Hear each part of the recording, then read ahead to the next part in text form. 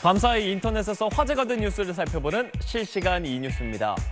우리은행 직원이 수백억 원대 거액을 횡령한 사실이 알려져 큰 충격을 줬었죠. 이 직원 파견을 간다고 속이고 1년 넘게 무단 결근까지 했는데 은행은 까맣게 모르고 있었다는 기사를 많이 봤습니다. 금융감독원이 공개한 검사 결과 해당 직원은 2012년 6월부터 8년 동안 8차례에 걸쳐 697억 원을 빼돌렸는데요. 기업 주식 23억 5천만 원어치를 무단 인출한 게 이 횡령의 시작이었습니다. 이후 직인을 도용하고 공문서를 위조하는 식으로 대우 일렉트로닉스 매각 계약금 등을 횡령했습니다. 게다가 2019년엔 외부 기관에 파견을 간다고 허위로 보고를 하고 13개월 동안 무단 결근까지 했는데요. 은행 측은 직원의 말만 믿고 아무런 확인도 하지 않은 것으로 조사됐습니다.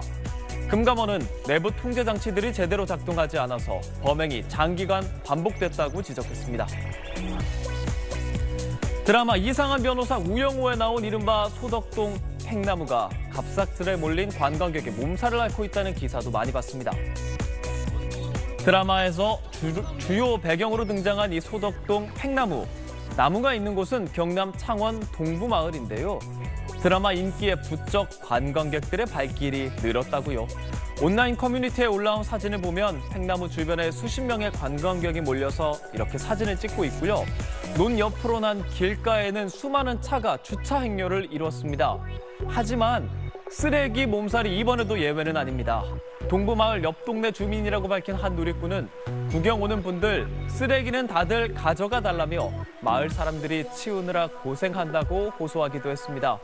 이에 창원시 관계자는 세 곳에 쓰레기통을 설치했고 공중 화장실도 설치할 계획이라고 밝혔습니다.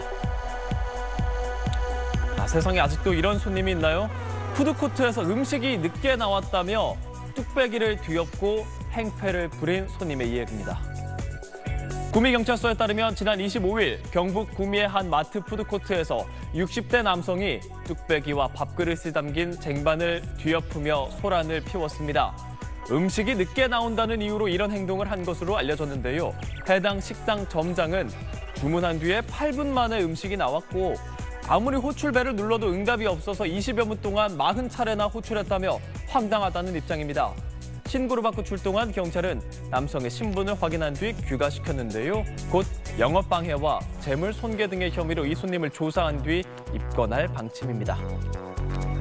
7월 27일 수요일 오늘 일정 살펴보는 미리 보는 오늘입니다. 네, 오늘 코로나19 확진자 수가 10만 명을 넘을 것으로 예상되는 가운데 정부가 자율적 거리두기 실천 방안을 발표합니다. 어제 국무회의에서 한덕수 국무총리는 본격적인 휴가 철이 시작되면서 감염 확산 속도가 더 빨라지지 않을까 우려가 크다며 오늘 중앙재난안전대책본부 회의에서 자율적인 거리두기 실천 방안을 발표한다고 밝혔습니다. 한 총리는 중요한 것은 경제와 일상의 멈춤이 아니라 자율과 실천이라고 강조했습니다. 조코 위도도 인도네시아 대통령이 오늘부터 1박 2일간 공식 방한해 한 인도네시아 정상회담을 갖습니다. 대통령실은 두 정상이 방산과 인프라, 경제 안보 등에서 협력 강화 방안을 논의할 것이라며 윤석열 정부 아세안 외교의 신호탄이 될 것으로 기대한다고 밝혔습니다. 동아시안컵 4연패에 도전하는 축구 대표팀이 오늘 저녁 일본과 최종전을 치릅니다. 앞서 중국과 홍콩을 모두 3대 0으로 꺾은 한국은 남자부 4개국 가운데 승점 6점으로 선두를 달리고 있는데요. 오늘 일본과 비기기만 해도 대회 4연패를 달성하게 됩니다. 지금까지 오늘 일정 살펴봤습니다.